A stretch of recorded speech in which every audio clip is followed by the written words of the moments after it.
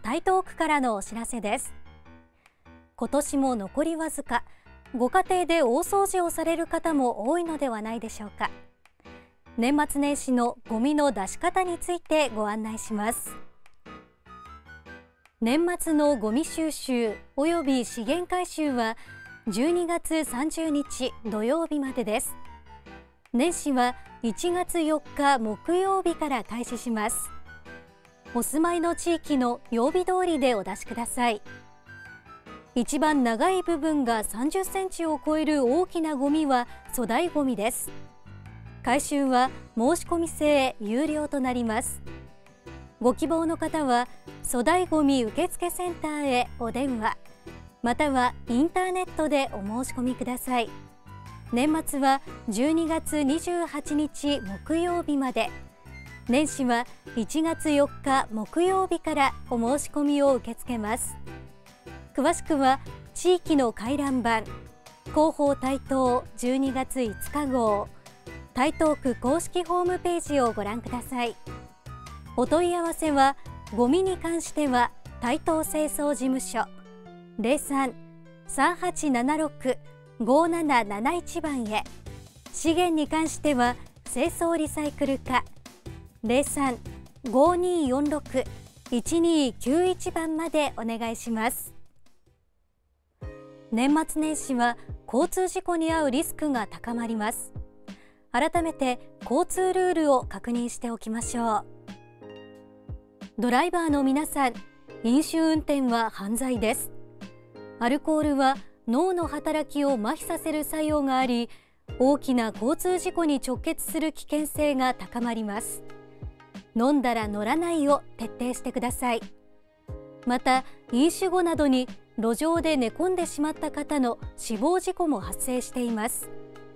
暗い時間帯は状況に応じてハイビームを積極的に活用し万が一路上で寝込んでいる人を見かけたら110番通報をしてください。歩行者の皆さん横断中の交通事故が多く発生しています。青信号だからと安心せず必ず右左の安全を確かめてから渡るようにしてください。寒くなるにつれて日が短くなりあっという間に暗くなるようになりました。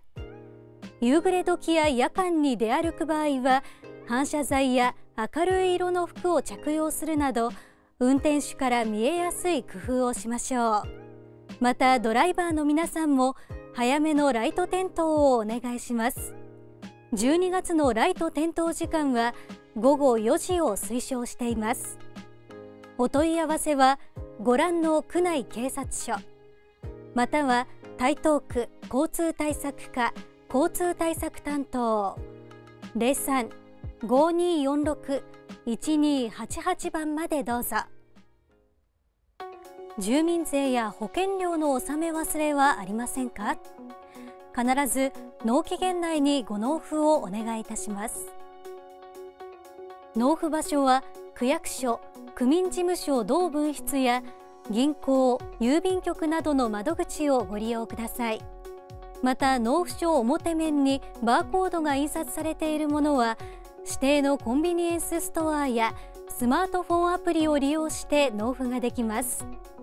病気や退職などさまざまな理由により納期限内のご納付が難しい場合はお早めにご相談ください。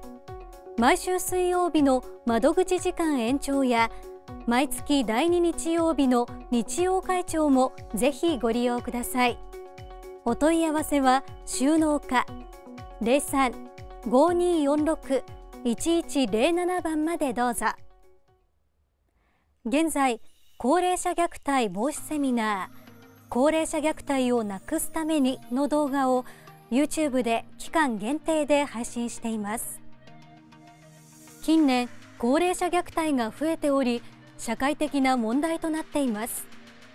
高齢者虐待を防ぐためには皆さんが虐待のサインに気づき早期の対応につなげることが大切です。動画では高齢者虐待とはどのような行為か。その発生要因虐待のサインなどを分かりやすく紹介しています。事前のお申し込みは不要。どなたでも無料でご覧いただけます。台東区公式ホームページから動画ページにアクセスできるほか画面上の二次元コードを読み取っていただくと直接動画につながります。ぜひご覧ください。お問い合わせは高齢福祉課総合相談給付担当。03-5246-1224番までどうぞ。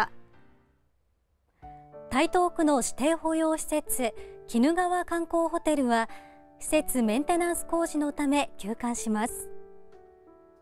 鬼怒川観光ホテルの休館期間は来年の3月1日から7月21日までです。